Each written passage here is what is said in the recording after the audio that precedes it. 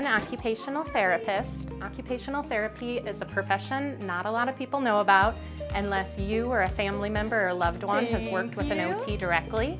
I've been an OT for over 10 years. I currently work in the Paradise Valley Unified School District in the Learning for Independence program.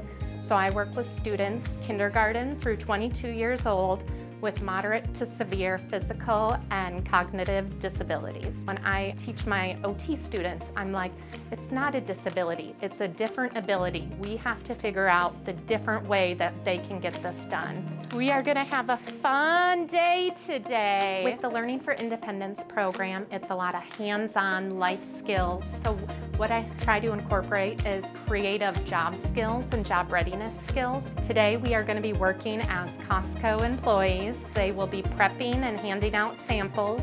They'll be working on their fine motor skills, their social interaction skills, and just overall problem solving, motor planning, what it would take to have a job after high school.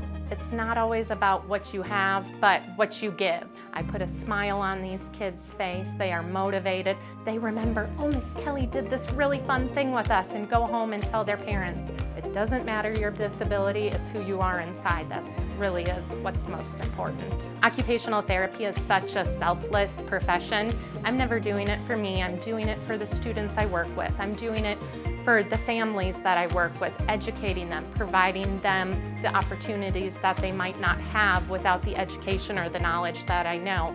I'm just so thankful. I'm just so shocked that I won this award. To be recognized is such a big honor. It's such a collaborative um, profession that I work with teachers, I work with physical therapists, vision and hearing specialists, that all of these collaborators have one common goal of helping children succeed, that it's such an honor that I got recognized, but the individuals that I work with deserve the recognition. It just betters the lives of our future and just deserves to be recognized.